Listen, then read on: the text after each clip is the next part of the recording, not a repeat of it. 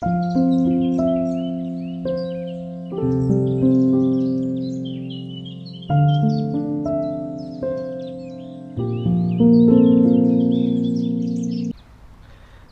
pagi dari Gunung Wellington, daerah Tasmania, dekat Hobart.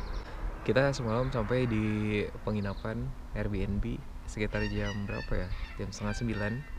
Perjalanan yang kita perkirakan itu sekitar 4 jam ternyata melebihi perkiraan kita. Kita berangkat kemarin jam 2, pas jam 2. Lalu berhenti kan di Campbelltown itu sekitar jam setengah lima jam 5 lalu start lagi berangkat sampai sini jam setengah sembilan kita berhenti dulu di deket eh, area city untuk beli makanan jadi total perjalanan 6 jam setengah luar biasa dan perjalanan semalam nyaman sih walaupun perjalanan malam gelap memang gelap banget karena nggak ada lampu penerangan jalan. Yang ada hanya marka-marka jalan sama itu loh lampu indikator yang kuning merah itu loh yang ada di tengah sama di pinggir.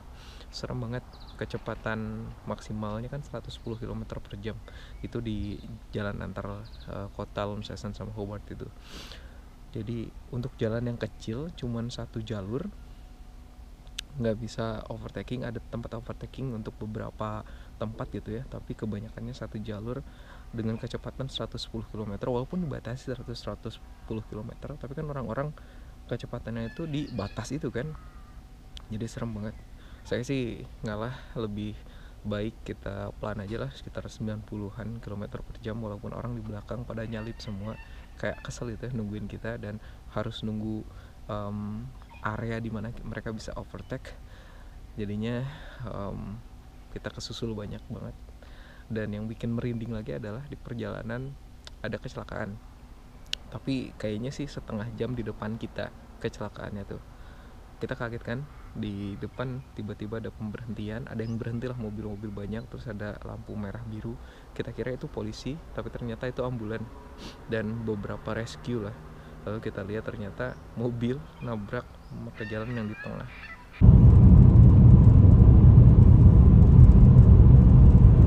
Iya, plus lain kan. Untuk plus plus plus sekarang ambil lagi spesial. oh bukan ya? jalan. oh, Perbaikan jalan aja. oh iya ambulans yang Oh ya ada sesuatu ya kecelakaan Wake up ya. kecelakaan ayang masya allah ya itu karena saking kencengnya itu makin bikin deg-degan lah pokoknya pas di perjalanan. Makin khawatir makin was-was jadi makin agak pelan lagi lah perjalanan yang penting sampai dengan selamat. Dan ya alhamdulillah kita sampai di penginapan ini. Penginapannya bagus banget di Gunung Wellington. Bisa untuk berdua ya bisa untuk berdua. Dan wah bagus banget. Kalau misalkan langsung naik ke Gunung Wellington National Parknya itu bisa juga langsung berangkat ke sana kita bisa menikmati em, area tinggi di daerah Hobart. Keluar kamar itu arahnya itu langsung itu loh. Langsung Hobart langsung pantai. Lihat deh.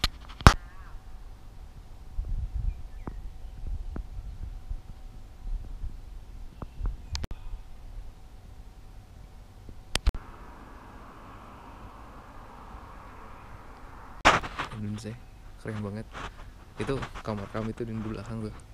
Ketika buka jendela langsung pemandangannya kayak gini. Mahal mahal banget pemandangannya. Luar biasa bagus banget. Sebelum aktivitas hari ini kita sarapan dulu. Sarapan hari ini lebih oke lah ya karena ada salad ada nasi dan ada kopi.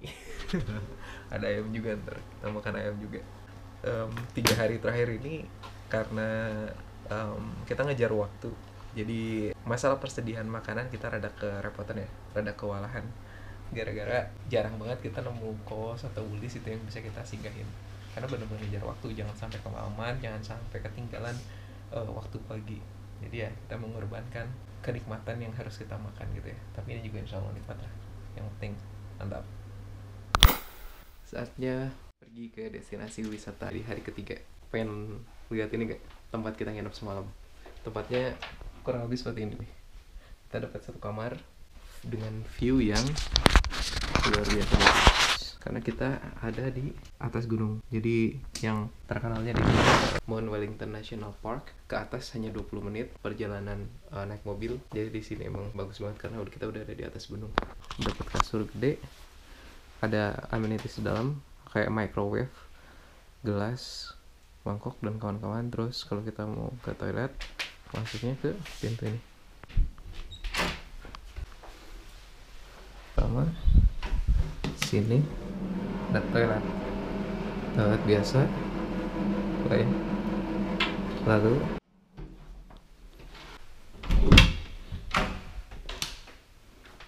ini deh ada shower iya ada shower tapi nggak ada bathtub cukup untuk mandi menghangatkan badan setelah perjalanan di luar yang dingin. Sekarang kita jalanan menuju ke Gunung Wellington. Baik. Beres check out. Insya Allah kita langsung berangkat ke Gunung Wellington. Kita lihat ada apa di sana. Bye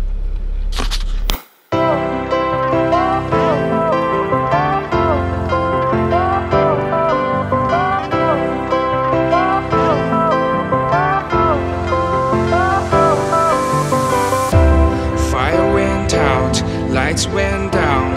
When you feel lost in your shadow, Yeay, sampai di puncak Gunung Wellington. Masih bersalju, bagus banget view-nya dan di belakang sana itu, di belakang sana, eh enggak deng, sebelah kiri view dari Hobart, kota di Tasmania. Luar biasa, keren banget pemandangannya, masya Allah, bagus banget. Dari penginapan semalam naik sedikit 20 menit, langsung nanjak ke atas, bisa ngeakses kayak puncak Gunung Wellington ini. Oh iya, untuk yang nggak pakai mobil sendiri atau nggak driving, di sini juga ada shuttle busnya dan eh, bisa naik dari dari bawah ke atas bareng-bareng lewat shuttle bus itu. Tinggal cari informasinya aja di Google. Oke. Ini dia view dari Gunung Wellington.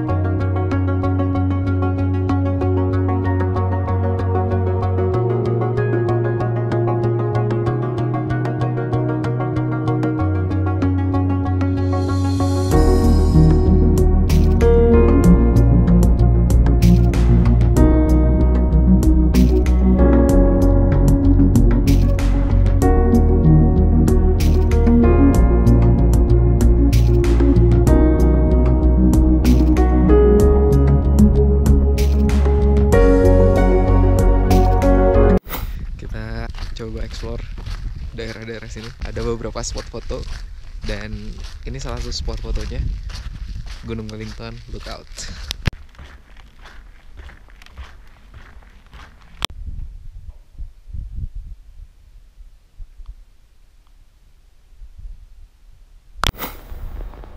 Sebetulnya semalam agak setengah hati mau ke Gunung Wellington atau enggak. Tadinya mau rencananya langsung ke Hobart aja ke City, lalu masuk ke museum di City dan keliling-keliling dari sekitar City. Tapi akhirnya kita memutuskan untuk naik ke Gunung Wellington dan puas. puas banget dataran tinggi puncak summit of the Wellington Mountain dan di atasnya bersalju cantik cantik sekali jadi worth untuk didatangi kalau misalkan ada di Hobart dan punya waktu untuk sejam dua jam bisa naik ke atas spend setengah jam mungkin ambil foto-foto dan menikmati suasana di atas layak untuk didatangi. Ya. Setelah saya menghabiskan waktu di Gunung Wellington kita langsung berangkat ke Hobart City. Mau apain ke Hobart City? Lihat-lihat gedung. Kita berhenti di sana jalan-jalan dikit biar tahu dan biar ada dokumentasi kalau kita pernah ke Hobart. Habis itu kita langsung berangkat ke Bay of Fire. Di sebelah bawah tuh selatan atas utara selatan barat laut barat barat laut utara barat laut daerah barat laut dari Tasmania. Kita langsung berangkat ke Hobart City. Bye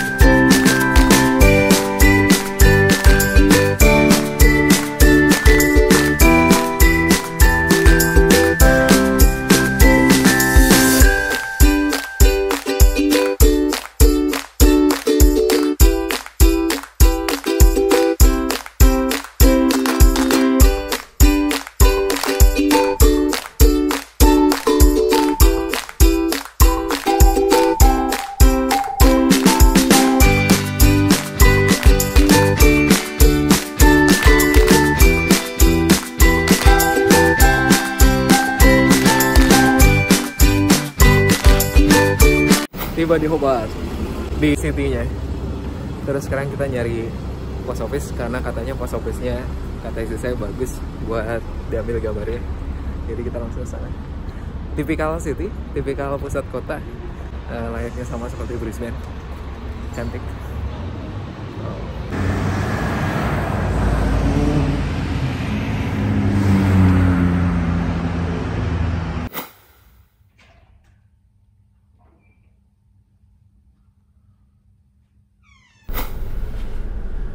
Beres kita barusan sholat dulu sebelum berangkat ke Bay of Fire. Bay of Fire dari Hobart ini perjalanan 4 jam. Kita berangkat jam 1 jadi kita udah sholat dulu di jama antara duhur sama asarnya.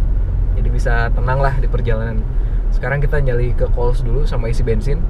Buat isi bensin biar cukup sampai ke oh yang biar sampai ke of Fire sama beli makanan untuk uh, makan malam dan sarapan besok.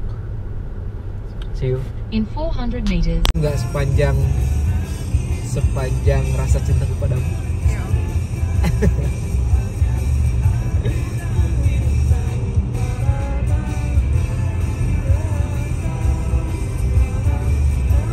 Ini jembatan yang panjang banget. Dari mana tadi ya?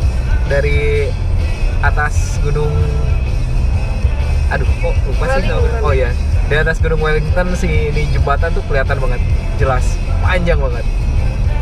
Tapi nggak sepanjang sepanjang rasa cintaku padamu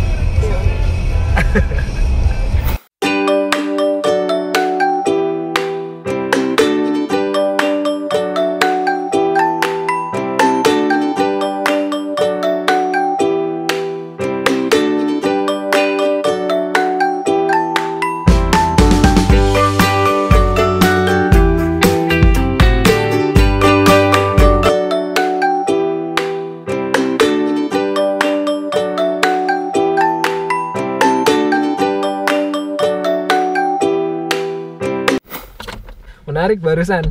Ih, kita isi bensin di eh, salah satu apa ya, ini? Kota ya? Mungkin ya kota ya? Kota karena udah masuk tadi ada ada pelangnya gitu Richmond daerah Richmond. Kita ya udah yuk ke sana. Kita isi bensin di gas station lokal gitu. Dan si bapaknya itu langsung nungguin. Itu turis tuh. Soalnya tahu.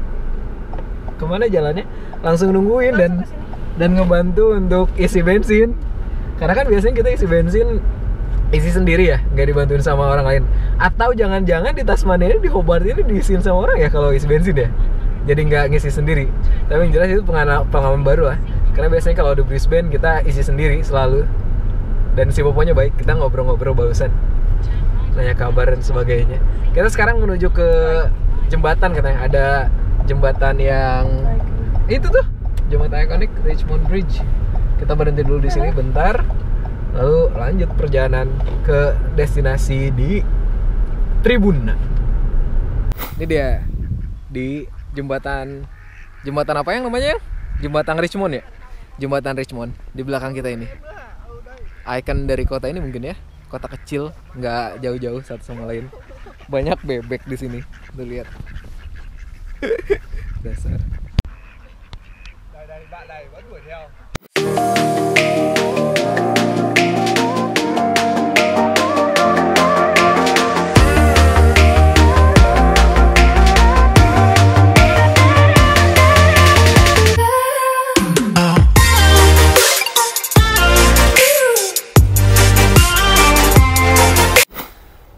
sampai juga di rest area atau di pemberhentian menuju ke Bay of Fire.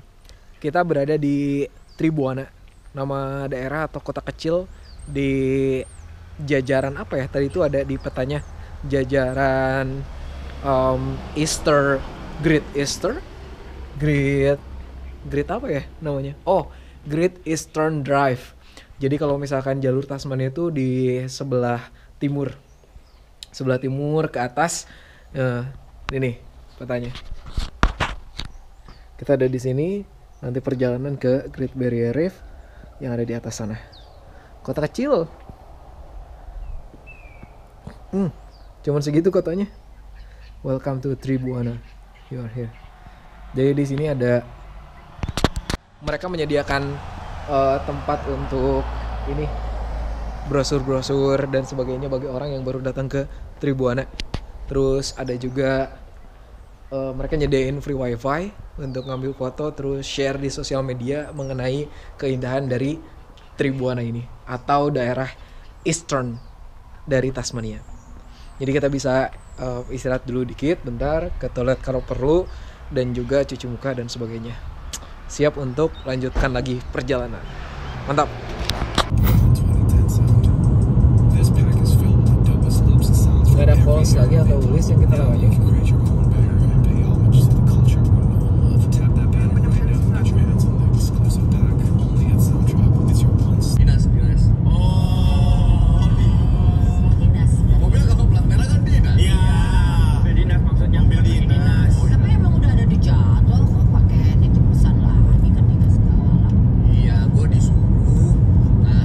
Gede banget lagi tadi. Walaupun mereka udah butuh alasan ada kan?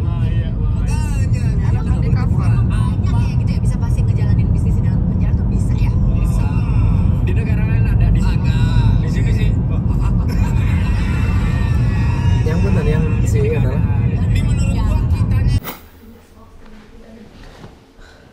Alhamdulillah sampai juga di penginapan kita di malam yang keempat. Perjalanan menuju ke tempat ini cukup menegangkan. Ada sesuatu yang bikin kita agak deg-degan sih sampai sekarang karena berasa banget tadi kejadiannya.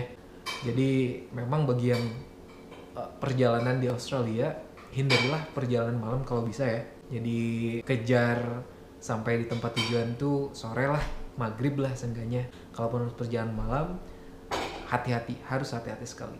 Be aware sama jalan yang ada di depan kita Alhamdulillahnya penginapan yang dipilih sama istri saya ini adalah penginapan yang bagus banget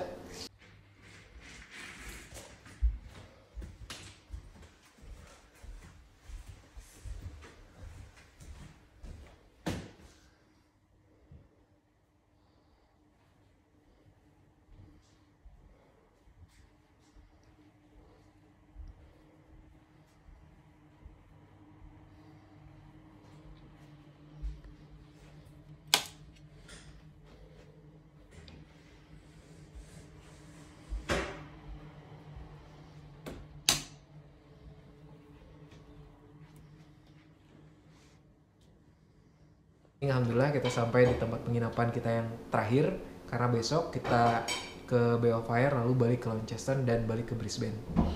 Bye.